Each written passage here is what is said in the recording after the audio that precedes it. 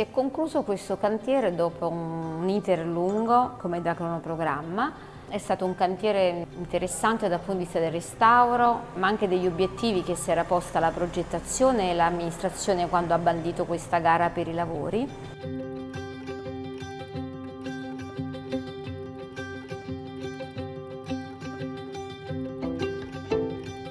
I temi erano lo scavo delle insule, il restauro delle mura, l'accessibilità e l'illuminazione dei templi e tutti e quattro obiettivi sono stati raggiunti.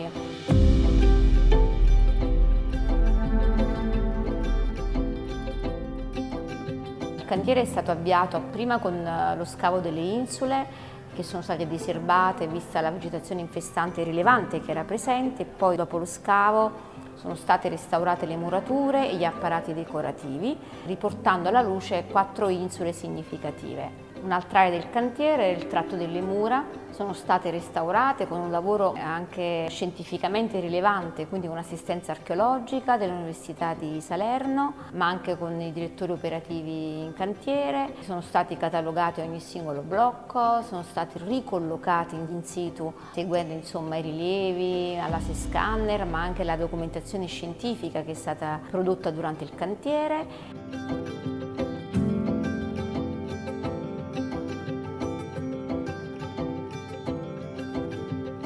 Tema importante per rendere il parco di Pestum inclusivo è stato il tema dell'accessibilità. Sono stati creati all'interno del parco i percorsi accessibili a tutti, studiando un battuto mirato che era previsto in progetto e quindi un battuto in corciopesto con una, campionatura di materiali ben studiata sia dal punto di vista cromatico ma anche per quanto riguarda lo spessore. Si è pensato che nei salti di quota o laddove ci fossero emergenze archeologiche realizzate delle passerelle che sono state di fatto realizzate e sono visibili e sono fruibili in situ. Un percorso che punta sia alla visione del paesaggio ma anche dell'archeologia che costeggia questo percorso. In più è visibile anche di notte tutto questo perché il percorso accessibile a tutti è stato pensato e quindi realizzato con l'illuminazione.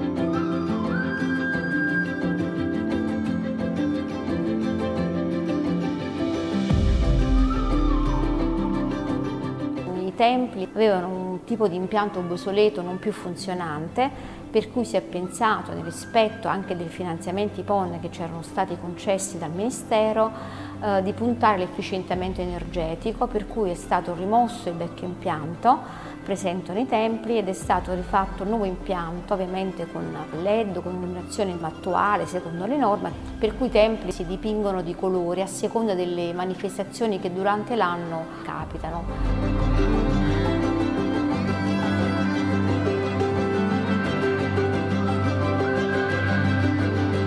L'obiettivo è portare avanti un cantiere di restauro e farlo bene ed è un intervento riuscito perché gli obiettivi che si poneva prima sono stati tutti risolti e portati avanti e si può dire che un cantiere riuscito e fatto bene.